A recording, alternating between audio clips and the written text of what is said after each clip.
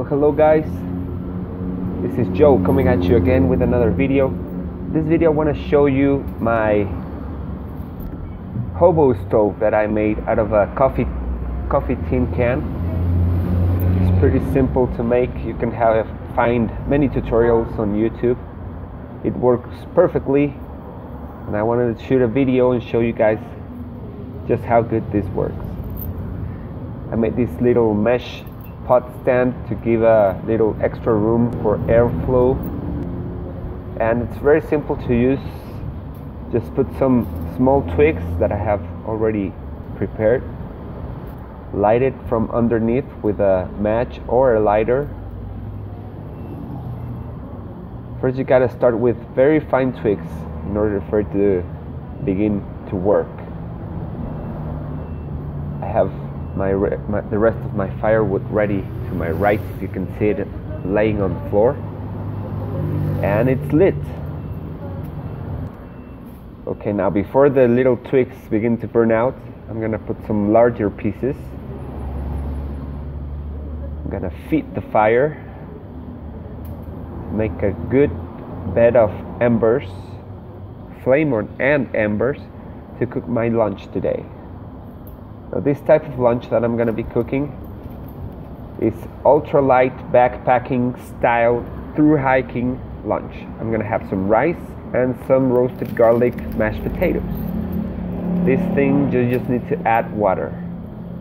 And I'm gonna be using my cozy that I made out of this uh, protective windshield heat protecting material.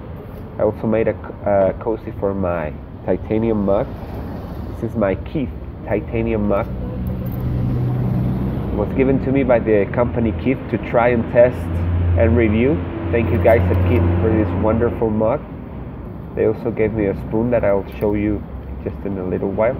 650 milliliters, perfect for backpacking, ultra light, very durable, perfect, excellent quality. So first things first, I'm gonna have to boil some water and for my meal I'm gonna be using about a cup a little bit over a cup of water.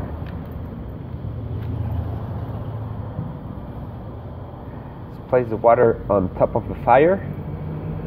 You see the huge flames coming out with such a little wood such little amount of wood. Put the lid on for it to boil faster. And I'm not gonna eat both bags of food. This is a lot of rice and the other one is a lot of mashed potatoes. So I'm gonna try to mix the rice real well. The seasoning that's almost always at the bottom. I want it very well mixed with the rest of the rice. Open the bag up with my handy, handy Swiss Army knife. And yeah, it needs some extra shaking, mixing. So I'm gonna pour this in the freezer bag. You see that yellow stuff?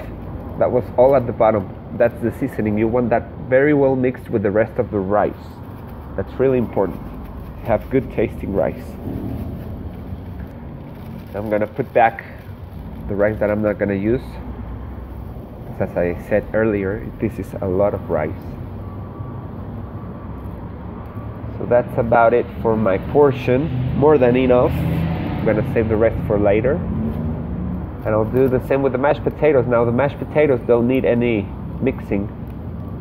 So I'm just gonna open the bag and just pour right in the amount of mashed potatoes that I would like to have.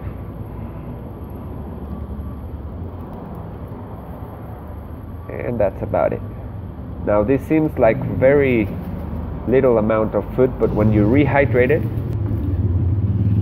it uh, expands. Now I've mixed very well the mashed potatoes and the rice. Now it's just a matter of waiting for my water to boil. So add more wood to the fire. Let's check how the water is doing. It's getting there. It's definitely getting there. a couple more minutes and it'll be boiling. Let me put this straight. There you go. Look how the airflow goes from underneath the hobo stuff up and then the flames hit the pot perfectly. I love this simple cheap DIY do it yourself kind of things, I like to do it. But this is the mashed potatoes and the rice all mixed together. Just waiting for the water to boil. This is my cozy that I was talking about. Made it from the sun protection for your windshield. Can find it find it at any supermarket, dollar store. Very simple to make. If you are interested, I can make a tutorial about it. And the water is boiling. Yep. It's time to hydrate my meal. Perfect. Now this is the spoon that I'm going to be using also given to me by my friends at Keith. It's a spork, titanium, long handle, very very lightweight, very very well made. And this is perfect for this type of meals because you can reach deep into the the bag of your food. You don't make a mess putting your fingers in the bag. So now carefully get your boiling water and pour the amount that you think it's necessary. I'm just eyeballing this stuff. I'm not measuring really. Think about a cup, maybe a little bit more, it's enough. I have a little water left over, but I think that's enough water. Now mix it as much as you can without scratching the bag. You don't want any leaks. So be really careful in this step. Mix the water with the con- with the dry contents as best as you can. Take the air out as best as you can because this is really hot, so that's why it's difficult. The steam can burn your hands, so be careful. And here comes the magic. You put your bag in the cozy, close the cozy with the velcro things that I put at the bottom I don't know if you could see but I made the cozy in such a way that it will freestand. Just using some gorilla tape or duct tape a knife or scissors put your meal inside you can see there. Close it up and let it sit for about 15 to 20 minutes approximately. Okay, so after 20 minutes, I believe my meal is ready. No leaks, that's good sign. Oh, the smell it smells amazing. It's garlic mashed potatoes. Oh, oh, this is hot. I need some protection because after 20 minutes, it's still burning hot. That's how effective these cozies are and my meal let's see it looks like it's cooked to perfection. Man this is hot. Really really hot but it's very well cooked. 20 minutes is more than enough. And uh, let me show you how this looks. Mashed potatoes and rice. Lots of energy lots of calories. You're through hiking, backpacking, this is a perfect meal.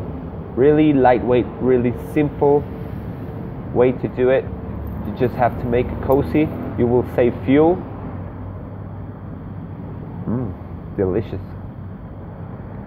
With that cozy, as I was saying, you can save fuel.